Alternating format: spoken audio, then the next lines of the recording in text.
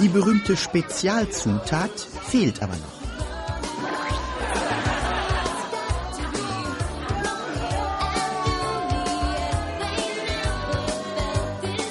Und selige Erinnerungen werden wach an Karl den Kojoten.